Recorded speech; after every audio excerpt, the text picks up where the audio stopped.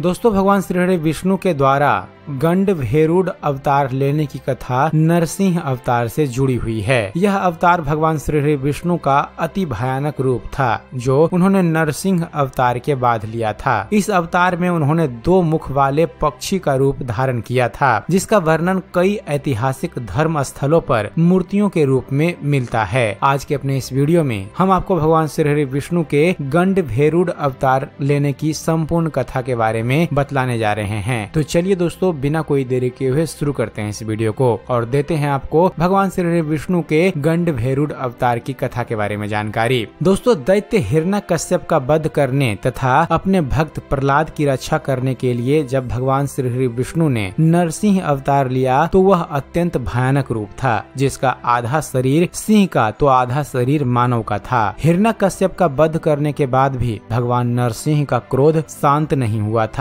वे फुफकार मारते हुए इधर उधर घूम रहे थे। यह देखकर तीनों लोगों में भय व्याप्त हो गया। तब सभी देवता तथा दैत्य भगवान शिव से सहायता मांगने गए। जब भगवान शिव ने नरसिंह अवतार का रुद्र रूप देखा तो उसे शांत करने के उद्देश्य से उन्होंने उससे भी भयानक रूप धारण किया, जिसे सर्वेश्वर या शभर अवतार कहा जाता है। यह अवतार सिंह, मनुष्य, भैरव तथा वीरभद्र का मिला जुला रूप था, जिसके भयानक पंजे, चोंच तथा दो गड़ूर पंख थे। भगवान शिव ने सरभ अवतार की सहायता से नरसिंह अवतार को अपने पंजे में जकड़ लिया तथा आकाश में उड़ गए। उन्होंने चोंच मार के नरसिंह अवतार को घायल कर दिया तथा उनके शरीर को अत्यधिक क्षति पहुंचाई। भगवान विष्णु का नरसिंह अवतार पहले से ही क्रोध की अग्नि में जल रहा था और यह देखकर उन्हें और भी ज़्यादा क्रोध आ गया। इसके पश्चात उन्होंने इससे भी भयानक अवतार का रूप ले लिया। जब सभर अवतार नरसिंह अवतार पर आक्रमण करके उसे नुकसान पहुँचा रहा था, तब भगवान नरसिंह ने उससे भी बड़े तथा भयानक अवतार को धारण किया, जो दो मुख वाला पक्षी था। इस अवतार को गंड भेरुड अवतार कहा गया। यह अति शक्तिशाली तथा भीमकाय अवतार था। मान्यताओं के अनुसार सरभ तथा गंड भेरुड अवतार के बीच 18 दिनों तक भीषण युद्ध हुआ, जिसमें अंत में सरभ अवतार की हार हुई और वह पुनः भगवान शिव में समा गए उसके पश्चात भगवान श्री विष्णु के रूप में गंड भेरुड अवतार का क्रोध शांत हो गया तथा वह भी श्री हरि में समा गए अलग अलग पुराणों तथा शास्त्रों में अलग अलग कथाएँ लिखी हुई है।